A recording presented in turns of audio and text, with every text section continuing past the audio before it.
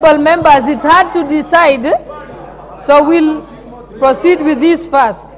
Honorable members, I now put the question that taking into account the consideration and the recommendations of the Joint Committee of the National Assembly, Departmental Committee on Administration and Internal Security,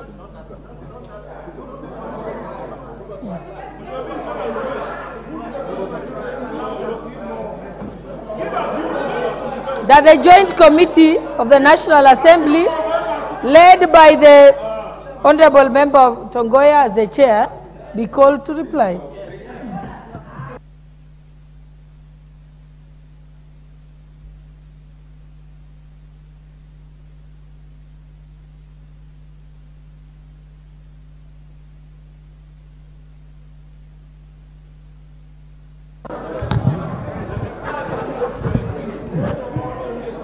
Honorable members,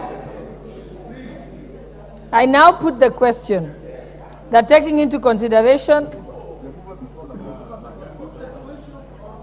I now put the question, Honorable members, just allow me to proceed with this. We have to say it properly, which means I have to say the title of the joint committee, which is chaired by Honorable Tongoyo, to be called to reply. I want to put that question. Yeah, so if you just let me do my job.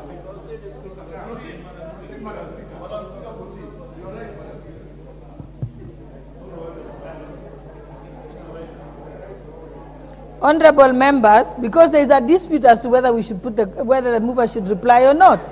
Isn't that the question before the House? So I want to ask,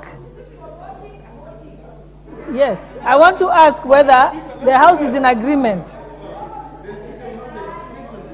you will have an opportunity to decide as the House whether the mover should be called to reply or not.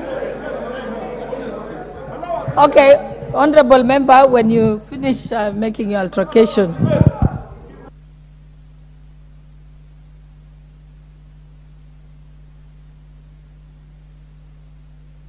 What's your point of order, Honorable Otiende? Madam Speaker, I want your guidance. I will wait until you're done consulting. Madam Speaker, I wish to get your guidance on a fundamental matter, and that is the fact that this being a house of debate, usually the majority will have, the minority will have their say, and the majority will have their way.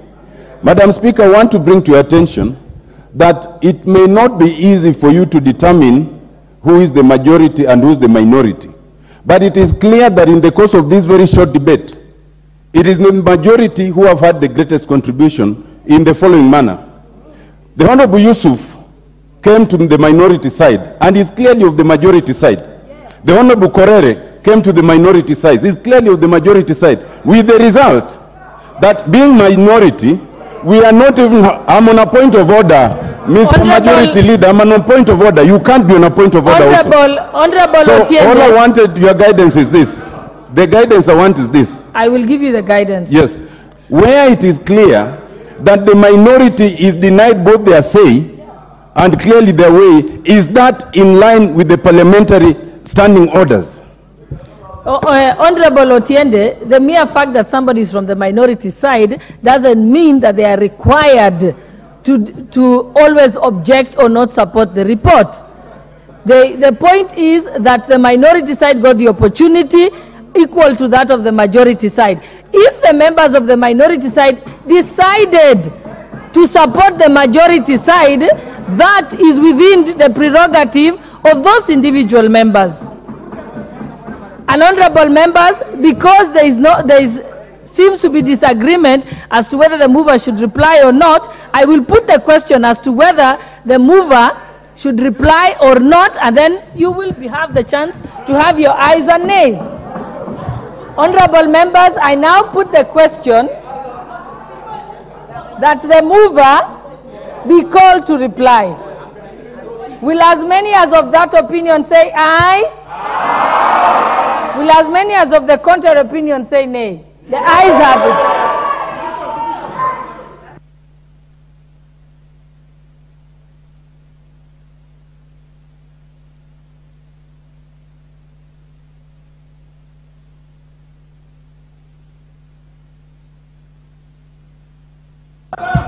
You have insufficient numbers.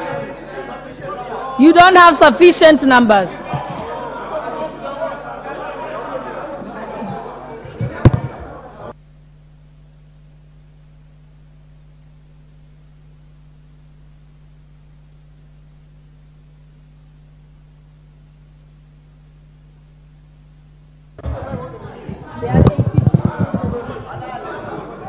Okay, the numbers are not sufficient. Move her to reply. Thank you, Madam Speaker. Madam Speaker, I want to take this opportunity to really thank members who contributed into this very important motion.